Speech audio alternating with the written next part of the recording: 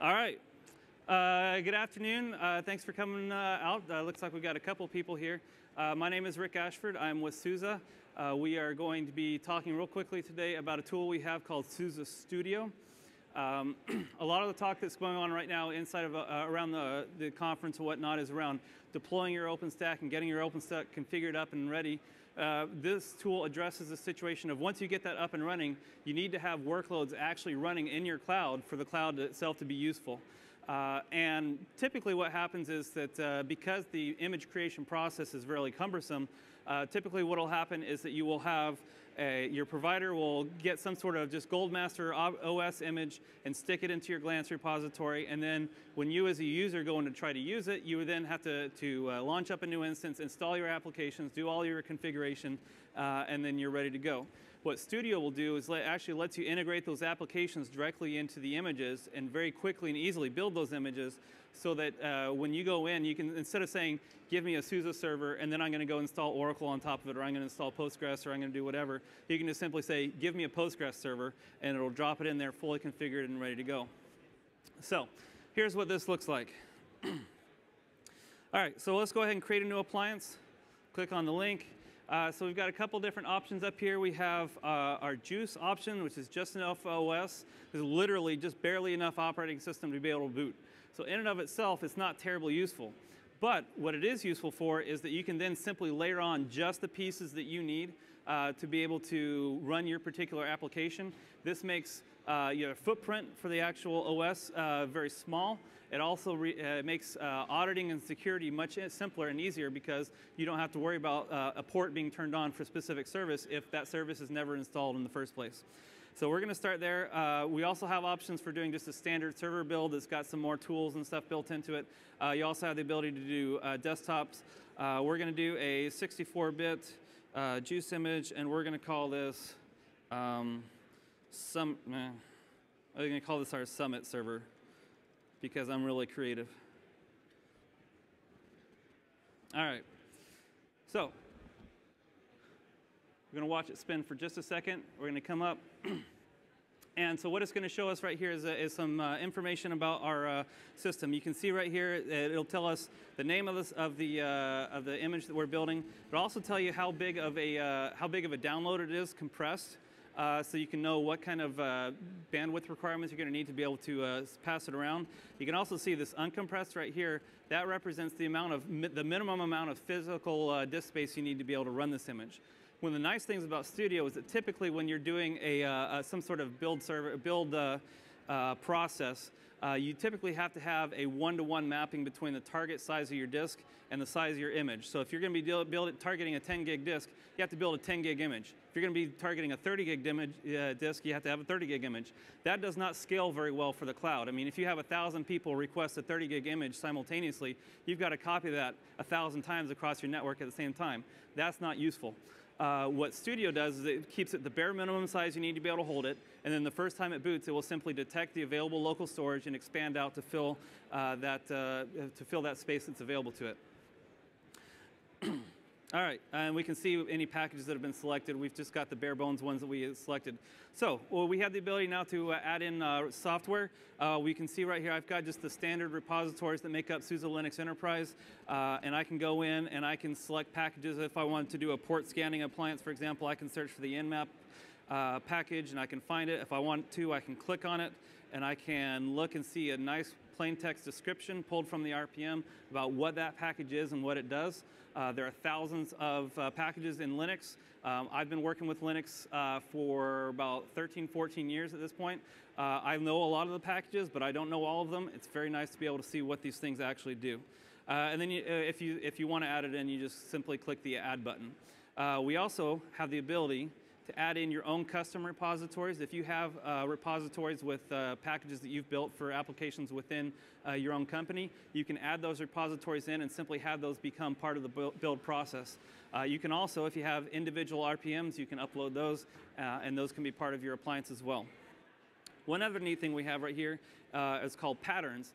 A pattern is a group of of one or more packages that fulfills a specific role uh, for your server. So for example, you can say this is going to be an Oracle server, and you can add in the uh, Oracle pattern, and it will actually, if those, for those of you who have, who have had the, the lovely joy of installing Oracle on Linux, you got that 25-page quick install manual. Uh, this will do about the first 20 pages for you. All the uh, uh, all of the uh, kernel tweaks and the, the user account creation and all that kind of fun stuff that has to happen uh, that gets done by, the, by that particular one. In this case, we're going to do a, a, LAMP server. We're just going to do a simple web stack so we can see what this looks like. Uh, if I click on the uh, pattern right here, you can see that by default, it installs just Apache. If I want to add in, say, the mod PHP, mod Python, or MySQL, I do have the ability to add in this recommended additional software. We're going to go ahead and do that. And it'll simply be added in. You can see over here on the side, it will keep track of all the uh, changes that I've made uh, to, my, to my system as I've been building it. So next up, we're, gonna, we're short on time, so I'm going to have to speed up a little bit here. Uh, you can set up your time zones, your network, your users. If you're going to do local account authentication, you can set up your firewall. Um, this is actually surprisingly uh, really popular among sysadmins. You can actually put custom uh, boot splash logos and screens up there. So you can put the company logo, for example, so that every time a system boots, it has the company logo. If you have a webcam and you want to take a picture of your face and put it up so everybody has to look at your face uh, every time the server builds, uh, uh boots, you can do that. We let you do that. All right, uh, you can add in your own custom end user license agreement. So if you want to have it uh, say, you must acknowledge that you will obey all of IT's security policies and procedures, and oh, by the way, you have to bring donuts every third Friday. Uh, you can add that in here to a EULA, and they have to accept it every time they launch a new instance of this, uh, of, of, this server. Um, if you have a MySQL or a Postgres server, uh, installed, you have the ability to upload a dump file for MySQL, uh, set up your users, so, you, so that the uh, database can be ready to go as soon as you, uh, as soon as you uh, fire this up. Um, if you're going to do some sort of a kiosk type thing, you can tell to automatically log in, user tux, and launch Firefox in kiosk mode or something like that. Uh, we're going to browse, we're going to kind of blow past that right here.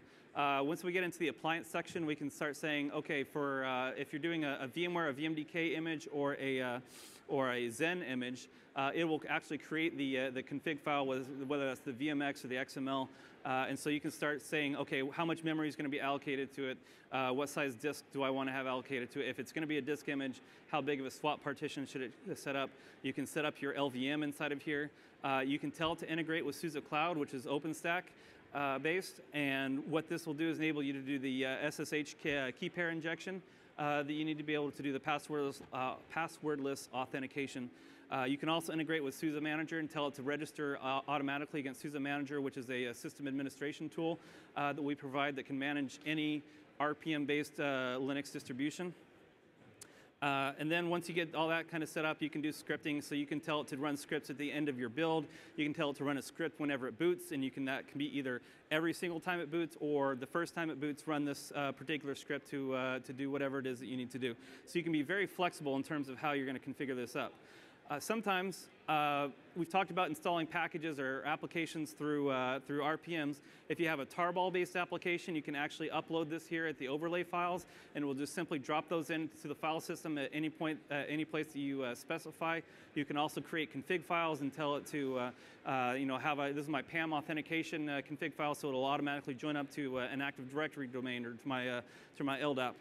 you, can, you can put those configurations inside of there.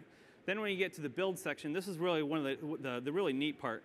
Basically, you can, you can tell it from this single configuration right here to build for a wide variety of targets. So for example, in here, we're going to we're gonna do it as a QCOW2 image, uh, which is useful for KVM and, and uh, the cloud and OpenStack. Uh, and we'll go ahead, let's go ahead and kick this off. And so this will sit here and then it will go out and build it in the background. And then I can actually tell it to say, okay, build it as a physical disk image as well. Build it as a VMware image. I can tell to build it as an Amazon EC2 or, uh, or a Microsoft Azure image and then be able to upload those into those uh, particular clouds. And, and then we'll go. Uh, in the interest of time, uh, we're going to kind of cheat a little bit.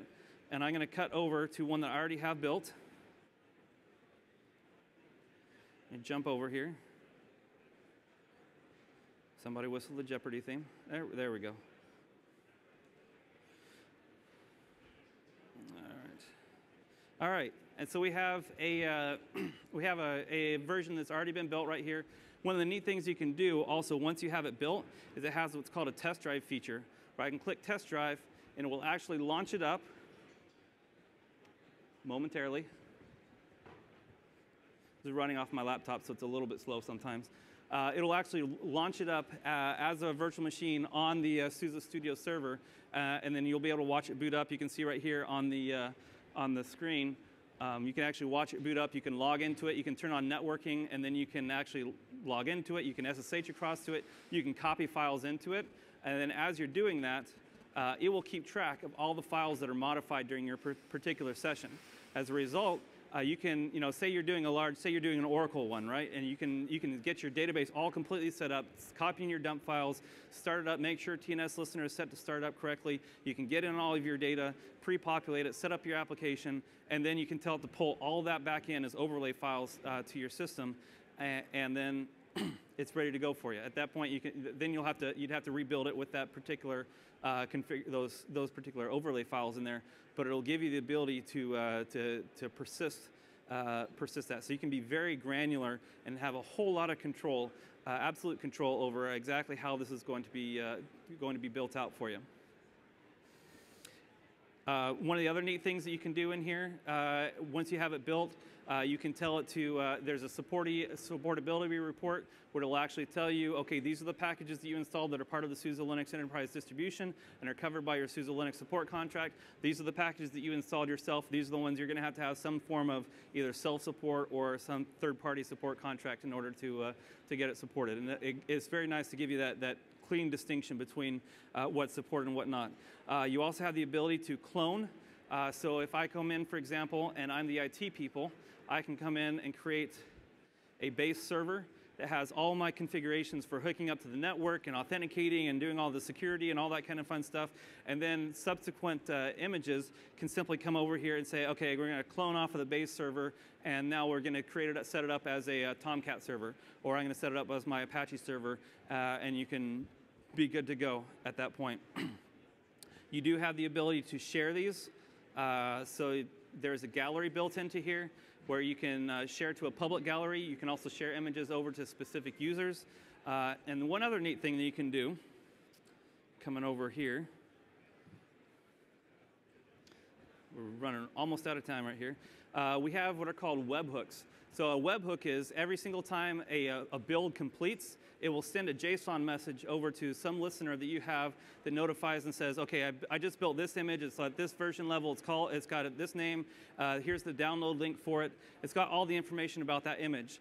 Uh, so you can, for example, have on your uh, Glance server, you can have a, uh, a, listener sitting there, just a simple Ruby or Python script. It intercepts that JSON message and then says, oh, okay, there's a new build. We'll go ahead and download it, import it into Glance, and then you have an automatic synchronization. As soon as you build something in the studio, it'll just simply show up in your Glance repository, uh, and your systems will be able to use it, and life will be wonderful. You'll get a promotion and a raise and uh, sunshine and lollipops for everybody.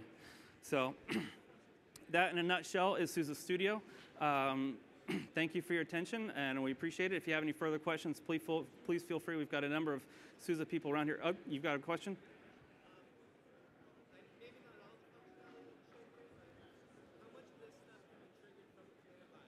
Uh, the question was how much of this stuff can be uh, triggered from the command line. The answer is pretty much all of it. There is a full REST API for being able to interact with Studio, and you can, uh, you can script this all out. Uh, for example, we had uh, our, our Mono team uh, that does uh, the, um, the Mono plugin for being able to run .NET on Linux.